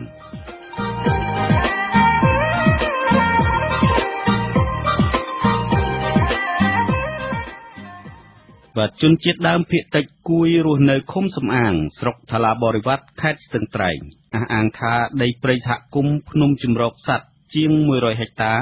ត្រូវបានគេកាប់បំផ្លាញសារជាថ្មីទៀតនៅប្រមាណខែចុងក្រោយនេះ សកម្មភាពកាប់ទន្ទ្រាននោះនឹងធ្វើឲ្យប៉ះពាល់ដើមឈើផលិតជ័រទឹករាប់ពាន់ដើម និងយាយីទីជម្រកសត្វព្រៃនៅតំបន់នោះអ្នកភូមិពាវនាវឲ្យរដ្ឋាភិបាលរដ្ឋបាលខេត្តស្ទឹងត្រែងនិងស្ថាប័នពាក់ព័ន្ធស៊ើបអង្កេតពីភាពមិនប្រក្រតីអំពីកាប់ការកាប់ព្រៃឈើនៅតំបន់អភិរក្សព្រៃឈើដែលប្រធានសហគមន៍និងអាជ្ញាធរពាក់ព័ន្ធបើកដៃឲ្យកាប់ឆ្ការព្រៃធ្វើអាជីវកម្មនៅតំបន់នោះ។ លោកម៉ែនសុធីរាយការណ៍ការអះអាងនេះធ្វើឡើងក្រោយពីព្រៃសហគមន៍ភ្នំជំរកសัตว์ដែលមានផ្ទៃដីជាង4000ហិកតាកំពុងរងការគំរាមកំហែងធ្ងន់ធ្ងរដោយពុំមានអាជ្ញាធររដ្ឋាភិបាលណាប្រកាន់ចំហច្បាស់លាស់ទប់ស្កាត់បទល្មើសព្រៃឈើឲ្យមានប្រសិទ្ធភាពអនុលោមតាមគោលនយោបាយរបស់រាជរដ្ឋាភិបាលឡើយផ្ទុយទៅវិញបែរជាបណ្ដាលឲ្យបទល្មើសកើតមានឡើងវិញ។ ជនជាដើមភាគតិចគួយរស់នៅឃុំសំអាងស្រុកថ្លាបរវត្តលោកអុកម៉ៅឲ្យដឹងនៅថ្ងៃទី19មិថុនាថាឈ្មួញបានបន្តកាប់ឈើមានតម្លៃពីព្រៃសហគមន៍និងកាប់ព្រៃរៀនយកដីអស់ជាង100ហិកតាថ្មីទៀតស្ថិតនៅចំណុចភ្នំធំអូឆ្កូតនិងត្រពាំងព្រៃដោយពុំមានគណៈកម្មការសហគមន៍និងអាជ្ញាធរពាក់ព័ន្ធចុះទប់ស្កាត់ឡើយសកម្មភាពកាប់ទន្ទ្រាននោះមួយចំនួនជាពលរដ្ឋចំណូលស្រុកនិងអ្នកមានឥទ្ធិពលនៅមូលដ្ឋាននៅពីក្រោយខ្នងលោកបញ្ជាក់ថាគណៈកម្មការសហគមន៍និងអាជ្ញាធររដ្ឋាភិបាលមិនបានយកចិត្តទុកដាក់ការពារព្រៃឈើទេថែមទាំងបណ្ដាលឲ្យចលនាទន្ទ្រានដីព្រៃសហគមន៍កាន់តែរីកធំឡើងលោកសង្កត់ធ្ងន់ថាអ្នកភូមិក្រុងប្តឹងអ្នកពាក់ព័ន្ធកັບរៀនដីព្រៃទៅតំណាងអัยការខេត្តស្ទឹងត្រែងឲ្យចុះស៊ើបអង្កេតករណីនេះនិងផ្ដន្ទាទោសជនល្មើសក្នុងទឹកដីសហគមន៍ហ្នឹងមានដូចថាជន មកពីឆ្ងាយមកកាប់ទន្ទ្រានយកដីសហគមន៍ធ្វើជាដីកម្មសិទ្ធិខ្លួនឯងហ្នឹងខ្ញុំព្រួយបារម្ភខ្លាំងព្រួយបារម្ភទី1ខ្លាចអស់សត្វព្រៃទី2ទៀតអស់ព្រៃឈើអស់ដើមឈើទី3ទៀតហ្នឹងអារម្មណ៍ខ្លាចក្មេងសាកក្រោយអត់មានឈើធ្វើផ្ទះបាទវានឹងរលាហហើយបរិះដដែលបន្តថាដើមឈើទាលនិងត្រាចដែលជាប្រភេទឈើផលិតជាប់ទឹករបស់ជនជាតិដើមភាគតិចគួយកំពុងបាត់បង់បណ្ដាបណ្ដាដោយសារឈ្មួញបានសម្រុកកាប់និងអាចជ្រៀកឈើធ្វើគ្រឿងផ្ទះ មុនឆ្នាំ2012ព្រៃសហគមន៍ភ្នំជម្រកសัตว์គឺជាទីតាំងជ្រករបស់សត្វចតុបាតព្រៃរស់នៅនិងជាតំបន់សម្បូរដោយព្រៃស្រោងមានដើមឈើផលិតជាប់ទឹករាប់ម៉ឺនដើមព្រៃសហគមន៍នោះមានផ្ទៃដីជាង4000ហិកតាត្រូវបានអាជ្ញាធរខេត្តស្ទឹងត្រែងទទួលស្គាល់ជាផ្លូវការនៅដើមឆ្នាំ2015ស្ថិតក្រោមការគ្រប់គ្រងរបស់មន្ទីរកសិកម្មដែលមានមន្ត្រីរដ្ឋបាលព្រៃឈើជាស្ថាប័នស្នូលអាស៊ីសេរីមិនអាចតាក់ទងแนะនាំពាក្យសាលាខេត្តស្ទឹងត្រែងលោកម៉ែនគង់ដើម្បីសុំការបំភ្លឺបញ្ហានេះបានទេនៅថ្ងៃទី19មិថុនាព្រោះទូរស័ព្ទហៅចូលពុំមានអ្នកទទួល ចំណែកប្រធានរដ្ឋបាលសាលាស្រុកថ្លាប្រវត្តិលោកថៃអ៊ីមានប្រសាសន៍ថាក្រោយពីរាជរដ្ឋាភិបាលចេញស្រាចរស្តីពីវិធានការ រគ្រប់គ្រងធនធានធម្មជាតិកាលពីឆ្នាំ2016អាជ្ញាធរស្រុកបានបង្កើតក្រុមការងារចុះទប់ស្កាត់បង្ក្រាបបទល្មើសព្រៃឈើនៅតំបន់នោះដោយរកឃើញថាសកម្មភាពទន្ទ្រាននោះស្ថិតនៅក្រៅបរិវេណព្រៃសហគមន៍ លោកបញ្ជាក់ថាអាជ្ញាធរស្រុកនឹងចាត់ឲ្យក្រុមការងារចុះត្រួតពិនិត្យពីស្ថានភាពព្រៃសហគមន៍ភ្នំចម្រិតសត្វជាថ្មីទៀតនៅពេលឆាប់ឆាប់នេះនឹងដាក់ទោសទណ្ឌដល់បុគ្គលណាដែលរកឃើញថាជាប់ពាក់ព័ន្ធกับរៀនដីព្រៃនៅតំបន់នោះដោយដោយសារតែកន្លងមកគោលការងារទាំងអស់ហ្នឹងទៅឲ្យលើសហគមន៍ព្រៃឈើជាមួយនឹងជំនាញដោយសារតែគុំហ្នឹងត្រូវបានចុះបញ្ជីសហគមន៍ព្រៃឈើហើយតែកន្លងមកសហគមន៍ព្រៃឈើហ្នឹងគាត់ថាដូចជាមិនមានសកម្មភាពអីដែលផលផុសដូចជាតំបន់គុំមួយចំនួនដែលគេបានបង្កើតសហគមន៍ហើយទេយើងនឹងដំណើរវិញពីសហគមន៍ហ្នឹងថាតើដំណើរការគាត់យ៉ាងម៉េចទេមន្ត្រីសម្របសម្រួលសមាគមអាត6ខេត្តស្ទឹងត្រែងលោកហូសំអល់មានប្រសាសន៍ថាសមាគមអាត6នឹងផ្ដល់ការប្រឹក្សាផ្នែកច្បាប់ដល់ពលរដ្ឋប្រសិនបើពលរដ្ឋដាក់ពាក្យប្តឹងអ្នកកាប់រៀនដីព្រៃអភិរក្សទៅស្ថាប័នអាយិកាលោកក៏សម្គាល់ថារហូតមកទល់ពេលនេះសមត្ថកិច្ចជំនាញនៅមិនទាន់ចាប់ខ្លួនជនល្មើសនិងអ្នកពាក់ព័ន្ធដាក់ទោសទណ្ឌដែរបើទោះបីជាសកម្មភាពកាប់ទន្ទ្រានដីព្រៃសហគមន៍និងដីព្រៃរបស់រដ្ឋអស់រាប់ពាន់ហិកតាក្តីនៅតំបន់នោះគុំខ្លួនគាត់ខ្លួនឃើញជាពលរដ្ឋក្រីក្រហ្នឹងមានពីណាដល់ពេលអាអ្នកមានលុយមានអំណាចនៅពីក្រោយខ្នងក្រោយអីហ្នឹងគឺមិនអាចឃើញតឡាការឬមួយក៏សមត្ថសមត្ថកិច្ចជំនាញអីដែលធ្វើទៅតាមផ្លូវច្បាប់បានមិនមិនតិចទេជនជាដើមភាគតិចគួយរស់នៅឃុំស្រែឫស្សីស្រុកថ្លាបរវត្តលោកខាន់វ៉នអះអាងនៅថ្ងៃទី19មិថុនាថាព្រៃសហគមន៍ភូមិលងក្រមួនកន្លងទៅសម្បូរដោយព្រៃស្រោងនិងដើមឈើផលិតចោលទឹកព្រមទាំងឈើមានតម្លៃគ្រប់ប្រភេទក៏ប៉ុន្តែបច្ចុប្បន្នព្រៃសហគមន៍នៅតំបន់នោះបានក្លាយជាទីវាលស្ទើរទាំងស្រុងខណៈក្រុមឈ្មួញបានដណ្ដើមគ្នាកាប់ទន្ទ្រានតាំងពីឆ្នាំ2013ក្នុងនោះក៏មានអាជ្ញាធរមូលដ្ឋានជាប់ពាក់ព័ន្ធដែរលោករិះគន់រដ្ឋាភិបាលនិងមន្ត្រីរដ្ឋាភិបាលថាគ្មានសមត្ថភាពការពារព្រៃឈើនិងព្រៃអភិរក្សនោះទេបែរជាបណ្ដោយឲ្យមានបទល្មើសព្រៃឈើកើតមានឡើងដដែលដដែលពុំមានការទទួលខុសត្រូវហើយគិតឃុំ ដូចតែឃុំសំអាងក៏សម្បូរឈើដែរអាលាយដែរឃុំកាំងចាមនិងឃុំចកាលើឃុំយងខេចំណោះនោះសតែឈើធំធំអាលាយដែរ អស់អស់សុខខ្លះហើយបើជាខំព្រៃឡងឡងណាឡងមែនមានតែឡងទៅទេព្រៃឡងរងថ្ងៃក៏ចង់គង់គឺចង់អស់រដ្ឋបាលជំនាញទៅរដ្ឋបាលនោះរដ្ឋបាលការពារបានតែជួយដូចតាមឡាននេះបើជួយស្រួតមានតែការពារទេមិនខាច់បាក់ដាក់មន្ត្រីស៊ើបអង្កេតជាន់ខ្ពស់នៃសមាគមអាត់ហុកលោកសង្សានករណាយល់ថារដ្ឋាភិបាលពុំទាន់ចាត់វិធានការក្តៅចំពោះអាជ្ញាធរថ្នាក់ក្រោមជាតិដែលជាប់ពាក់ព័ន្ធกับបំផ្លាញព្រៃការពារនោះទេបើទោះបីជាករណីនេះបានកើតមានឡើងដដែលដដែលក្តីលោកក៏សម្គាល់ថាអនុក្រឹត្យរបស់រាជរដ្ឋាភិបាលស្តីពីការទប់ស្កាត់បទល្មើសព្រៃឈើគឺមានតែក្នុងក្រដាស់តែការអនុវត្តជាក់ស្ដែងវិញពុំទាន់មានលទ្ធផលជាវិជ្ជមានដែលអាចឲ្យពលរដ្ឋអាចទទួលយកបានលោកបញ្យល់ថាពលរដ្ឋមានសិទ្ធិប្តឹងអ្នកពាក់ព័ន្ធกับបំផ្លាញព្រៃអភិរក្សនិងអ្នកដែលមិនយកចិត្តទុកដាក់ទប់ស្កាត់បទល្មើសព្រៃឈើលើពីនេះពលរដ្ឋក៏មានសិទ្ធិជ្រើសរើសតំណាងរបស់ខ្លួនដែលជាមនុស្សសកម្មនិងមានសមត្ថភាពគ្រប់គ្រាន់ថែរក្សាព្រៃឈើនៅក្នុង តំបន់ដែលគាត់កំពុងជួបរងការកំពុងភ្លេចបំផ្លាញហ្នឹងថ្នាក់ជាតិត្រូវតែចាត់វិធានការជាបន្ទាន់ដើម្បីគុំបណ្ដោយបណ្ដោយរឿងនេះបន្តទៀតពួកអីដែលការហិនហោចនេះវាជាវាកើតឡើងដដែលហើយដដែលអញ្ចឹងហើយគួរតែថ្នាក់ជាតិនឹងចាត់វិធានការដាក់ពិន័យឬក៏អនុវត្តច្បាប់នឹងឲ្យតឹងរឹងឲ្យខ្លាំងជាងនេះទៀត កាលពីថ្ងៃទី22ខែកញ្ញាឆ្នាំ2016រាជរដ្ឋាភិបាលបានដាក់ចេញស្រាវជ្រាវស្តីពីការគ្រប់គ្រងធនធានធម្មជាតិក្នុងនោះរាជរដ្ឋាភិបាលបានដាក់ចេញនូវវិធានការមួយចំនួនទៅឲ្យស្ថាប័នពាក់ព័ន្ធត្រូវចាត់វិធានការឲ្យបានហ្មត់ចត់ដើម្បីទប់ស្កាត់និងបង្ក្រាប ព្រមទាំងលុបបំបាត់បទល្មើសធនធានធម្មជាតិគ្រប់ប្រភេទរួមទាំងការរុករានដីក្នុងតំបន់ព្រៃការពារនិងអភិរក្សធម្មជាតិដែលស្ថិតក្នុងដែនសមត្ថកិច្ចរបស់ខ្លួនក៏ប៉ុន្តែជនជាតិដើមភាគតិចនិងអង្គការសង្គមស៊ីវិលអះអាងថាស្រាចរនេះគឺមានតែក្នុងក្រដាស់តែការអនុវត្តជាក់ស្ដែងវិញគឺរដ្ឋាភិបាលបានបរាជ័យក្នុងការអនុវត្តគោលនយោបាយអភិរក្សព្រៃឈើខ្ញុំម៉ែនសុធីអស៊ីសេរីពីខេត្តស្ទឹងត្រែង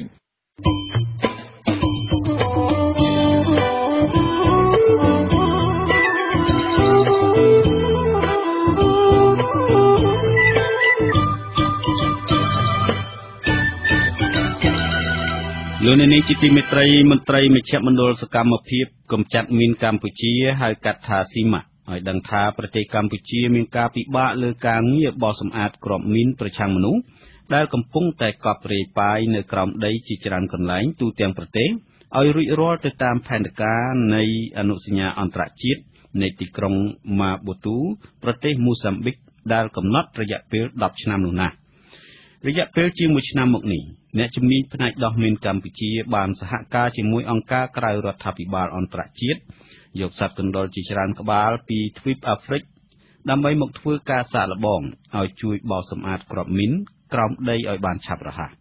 លោកសាវយុទ្ធមានសេចក្តីរាយការណ៍ពិស្ដារជុំវិញរឿងនេះ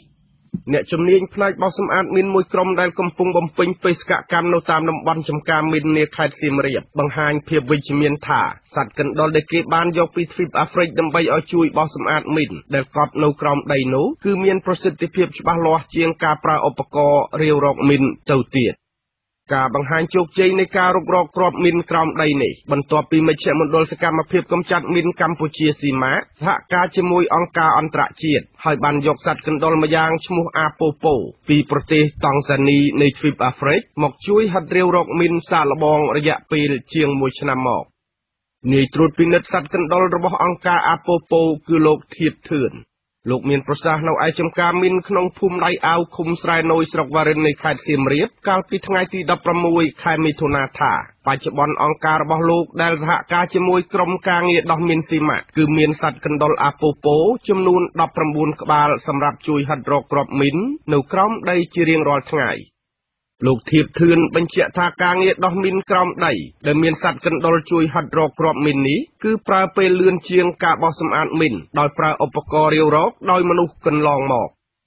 សត្វកណ្តុរមួយក្បាលបើគិតជាមធ្យមគឺអាចហាត់រកគ្រាប់មីនកប់នៅក្រោមដីបានប្រហែល400ម៉ែត្រក្រឡាក្នុងមួយថ្ងៃ។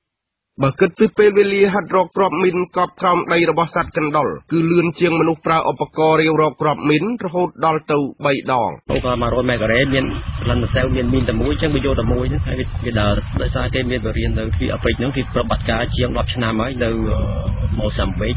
នៅអង់ហ្គូឡាអញ្ចឹងគេទទួលជោគជ័យនៅទីនោះប្រហែលបានអង្គការប៉ូប៉ូហ្នឹងក៏សម្រេចចិត្តបញ្ជូនមកកម្ពុជានៅជិះជាលើកទី1ដែលបញ្ជូនមកអាស៊ីអាស៊ីអាគ្នេយ៍យើងកម្ពុជាជាប្រទេសដំបូងគេដែលនាំយកសត្វកណ្ដុរអាប៉ូប៉ូពីទ្វីបអាហ្វ្រិកឲ្យជួយធ្វើការបោសសម្អាតគ្រាប់មីនមុនគេនៅក្នុងតំបន់អាស៊ី ការដឹងថាសត្វកណ្ដុរអាប៉ូប៉ូមានសមត្ថភាពអាចហិតដឹងគ្រាប់មីននិងរំសេវនៅក្រោមដីនោះគឺតាមរយៈប្រទេសជាច្រើនក្នុងទ្វីបអាហ្វ្រិកដែលធ្លាប់ប្រើប្រាស់សត្វនេះរយៈពេលជាង10ឆ្នាំមកហើយអ្នកជំនាញផ្នែកដោះមីនកប់ក្រោមដីលោកមាសចម្រើនមានប្រសាសន៍ថាលោកធ្លាប់ធ្វើការដោះមីនក្រោមដីដោយប្រើឧបករណ៍រាវរករយៈពេល21ឆ្នាំហើយលោកទើបតែបដូរមកធ្វើការដោះមីនជាមួយសត្វកណ្ដុររយៈពេល7ឆ្នាំមកនេះ លោកមាសចម្រើនយល់ថាការប្រើសត្វកណ្ដុរអាប៉ូប៉ូឲ្យហិតរកគ្រាប់មីននៅក្រោមដីគឺច្បាស់លាស់ជាងការប្រើឧបករណ៍រាវរកទៅទៀតពីព្រោះទាល់តែមានគ្រាប់មីនឬក៏ជាតិរំសេវទើបវាកាយប្រាប់បើមិនមានទេគឺវាមិនរវល់ឡើយកណ្ដុរពេលដែលដល់មីនឬដល់ជាតិរំសេវបានវាផ្ដល់សញ្ញាពេលដែលយើងរាវដោយដៃគឺលោហៈធាតុទាំងអស់នោះគឺវាផ្ដល់សញ្ញាទាំងអស់យើងនៅចាក់រាវរកមើលតើវាជាមីនឬជាជាលោហៈធាតុប៉ុន្តែកណ្ដុរ វាផ្ដល់សញ្ញាច្បាស់ថាមួយនេះហើយដែលជាមីនគឺយើងជីកទៅវាប្រកបជាងហើយកណ្ដុរវាអាចមនុស្សមួយណាកាន់វាក៏បានដែរមិនដូចសត្វសុនក់ទេអ្នកជំនាញខាងថែរក្សាសត្វកណ្ដុរអ្នកស្រីម៉ៅសុភាឲ្យដឹងថាសត្វកណ្ដុរអាពូពូនេះអ្វីត្បិតតែវាមានរូបរាងដូចសត្វកណ្ដុរព្រៃនៅកម្ពុជាក៏ប៉ុន្តែការឆ្លាតវៃរបស់វាមិនដូចគ្នាទេ កណ្ដុរអាពោះពោគឺមានការរស់នៅដោយសត្វកណ្ដុរព្រៃនៅកម្ពុជាមិនពិបាកមើលថែពេកទេដោយគ្រាន់តែប្រយ័ត្នលើកិច្ចការពារសុខភាពវាខ្លះមិនឲ្យឈឺដូចជាត្រូវលាបឡេឲ្យវាជាប្រចាំរាល់ពេលមុនចេញទៅវាលផ្ដល់ចំណីជាផ្លែចេកទុំនិងផ្ដល់ទឹកស្អាតឲ្យវាផឹកប៉ុណ្ណោះ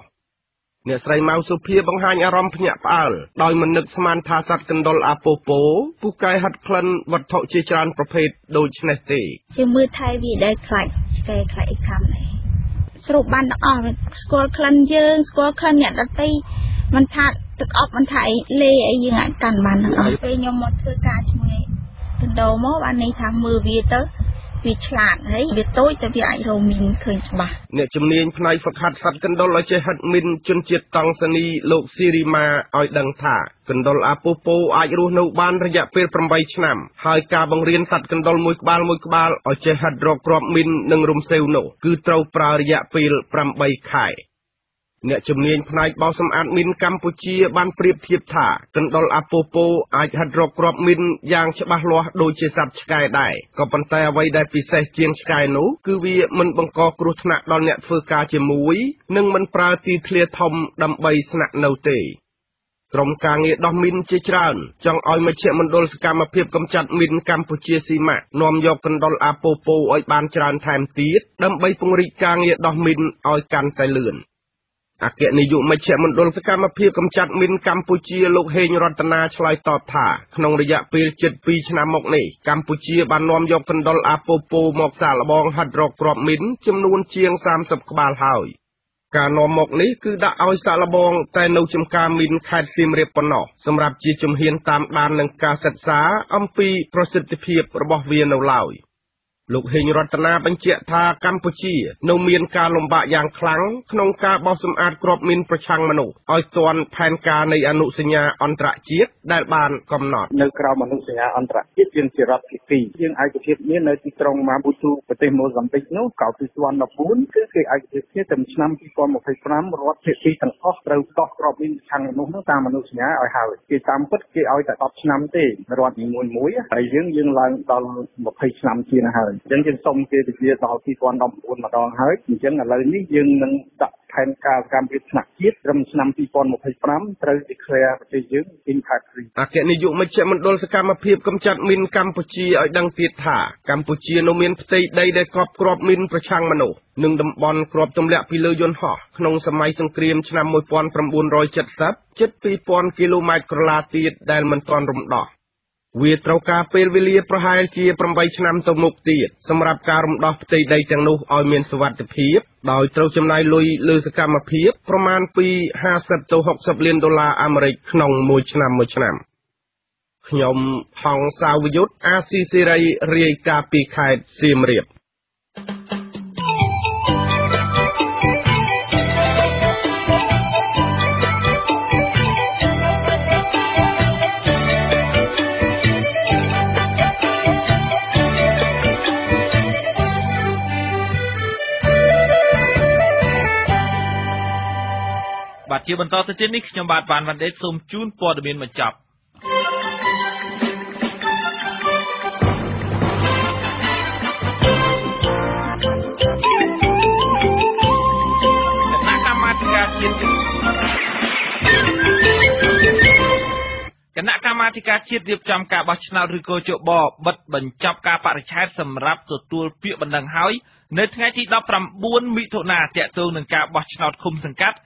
កាលពីថ្ងៃទី4មិថុនា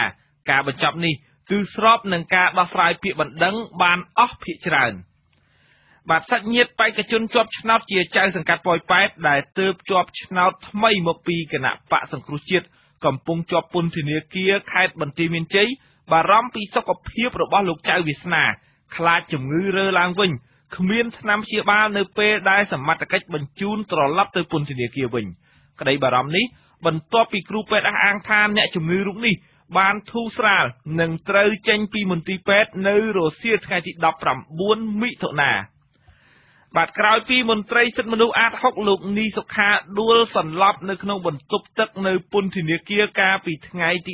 18មកដល់ថ្ងៃទី19មិថុនានេះគ្រូពេទ្យរបស់អង្គការលីកាដូនៅមិនទាន់បានចូលជួបលោកនីសុខាដើម្បីពិនិត្យជំងឺនៅឡើយទេ រដ្ឋមន្ត្រីក្រសួងមហាផ្ទៃនៃរដ្ឋាភិបាលកម្ពុជាបានធ្វើជាម្ចាស់ផ្ទះនៃកិច្ចប្រជុំក្រុមអតីតសិក្ខាកាមបណ្ឌិតសភា FBI ដែលធ្វើឡើងនៅខេត្តសៀមរាបនៅថ្ងៃច័ន្ទទី19មិថុនាក្រុមអតីតសិក្ខាកាមបណ្ឌិតសភា FBI ដែលបានមកជួបប្រជុំគ្នានោះមានចំនួន160នាក់និងមកពី18ប្រទេសនៃតំបន់អាស៊ីប៉ាស៊ីហ្វិកបូករួមនឹងសហរដ្ឋអាមេរិកផងអ្នកនាំពាក្យក្រសួងមហាផ្ទៃលោកខៀវសុភ័ក្រ មានប្រសាសន៍បន្ទាប់ពីបញ្ចប់កិច្ចប្រជុំនោះ នៅបន្ទាប់ពីបិទបញ្ចប់បន្ទាប់ពីថ្លែងបើកកិច្ចប្រជុំនោះថានៅក្នុងកិច្ចប្រជុំអតីតសិក្ខាកាម FBI នោះបានលើកយកប្រធានបទមកពិភាក្សាគ្នាអំពីបញ្ហាអក្រិតកម្មឆ្លងដែនដោយដៅទៅលើចំណុច2គឺទី1បញ្ហាប្រឆាំងភេរវកម្មនិងទី2បញ្ហាប្រឆាំងអ ுக ្រិតកម្មតាមប្រព័ន្ធអ៊ីនធឺណិត